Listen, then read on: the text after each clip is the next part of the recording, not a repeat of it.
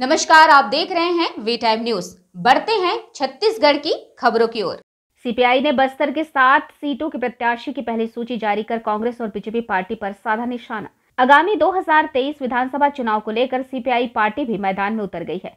और आज सीपीआई परिषद की बैठक में प्रदेश में 25 सीटों पर चुनाव लड़ने का ऐलान किया है। वहीं सीपीआई के राष्ट्रीय सचिव ने मीडिया से बातचीत करते हुए कहा है कि केंद्र और राज्य सरकार आदिवासियों के ऊपर अत्याचार कर रही है। एक तरफ़ डबल इंजन की तरह काम करके बस्तर का दोहन कर रही है। उन्होंने आरोप लगाते हुए कहा कि आदिवासियों पर इतना अत्याचार हो रहा है, लेकिन देश के प्रधानमंत्री एक बार भी मणिपुर नहीं गए।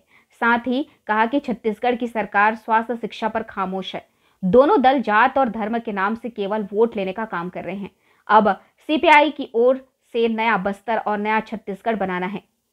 और इसीलिए सीपीआई प्रदेश में 25 सीटों पर चुनाव लड़ने जा रही है। पाँच सीट सीपीएम का साथ देगी और बाकी 20 सीट पर अपना प्रत्याशी उतार रही है। वही आरसीपीआई ने बस्तर के सात सीटों के प्रत्याशियों की पहली सूची जारी की है, जिसमें कोंटा से मनीष कुंजाम, नारायणपुर से फुल सिंह, कचलाम, कोंडागांव से जयप्रकाश नेताम, चित्रकोट से रामू राम मौरू, बीजापुर से पी लक्ष्मी नारायण दंतेवाड़ा से भीमसेन मंडावी और केशकाल से दिनेश मरकाम को अपना उम्मीदवार घोषित किया है और बाकी सीटों पर जल्द ही नाम की घोषणा करने की बात कही है। आज हम लोग इसको एक नया मोड़ दिए। हमने तय किया कि 20 चुनावी क्षेत्र में हम इलेक्शन कंटेस्ट करेंगे। आज पहला सूची में हमने सात नाम तय किया। ये जो इलेक्शन हो रहा है, ये 2026 का पहले, हम इसको सेमीफाइनल मानते हैं। आज देश का हालत बहुत ही खराब है। केंद्र में जो बीजेपी का सरकार है, बीजेपी का सरकार आज देश को पीछे ले रहा है। देश का जीडीपी नीचे जा रहा है, रुपया गिर रहा है, आमदनी बढ़ रहा है, रफ्तानी, आमदनी बढ़ रहा है, रफ्तानी घट रहा है। महँगाई बढ़ रहा है, बेरोजगारी बढ़ रहा है और ये सरकार धर्म के नाम पर, जाति का नाम पर इस देश को तोड़ने की काम कर रहा है।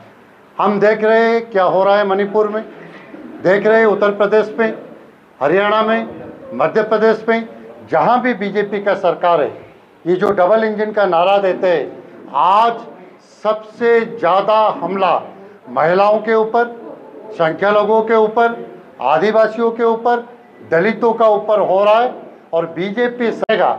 लेकिन कांग्रेस की सरकार और कांग्रेस के पार्टी छत्तीसगढ़ में, जो छत्तीसगढ़ का, जो आम इशूस है उसको नज़रअंदाज कर रहा है। यहाँ बेरोजगारी बढ़ रहा है और ना कांग्रेस, ना बीजेपी दोनों बेरोजगारी के बात नहीं कर रहे।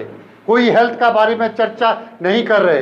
कल प्रधानमंत्री जी यहाँ थे हम लोग ये उम्मीद रखें कि प्रधानमंत्री जी कम से कम रोज़गार कैसे पैदा होगा, कैसे यहाँ का बेरोजगार नौजवान को काम मिलेगा, उसका ऊपर कुछ बोलेंगे। उन्होंने कुछ नहीं बोला। बस्तर में हर डिस्ट्रिक्ट का अंदर मेडिकल कॉलेज बनाना ज़रूरी है, लेकिन प्रधानमंत्री ने उसके ऊपर कुछ नहीं बोला। यहाँ मिनरल रिसोर्स है, यहाँ खनिज है यहाँ जंगल है, यहाँ सब कुछ है, लेकिन बस्तर आज गरीब क्यों है? आदिवासियों को क्यों शोषण किया जाता है? यहाँ का बेरोजगार नौजवान को क्यों काम नहीं मिल रहा है? ये तमाम बात को लेके हम इलेक्शन में जाएँगे, और ये दोनों बीजेपी और कांग्रेस का खिलाफ हम लड़ेंगे। हम सीपीएम को सीपीआईएमएल को साथ में लेके जा रहे हैं। हम 20 सीट पे लड़ टाइम न्यूज़ के लिए जगदलपुर से बास की ठाकुर की रिपोर्ट।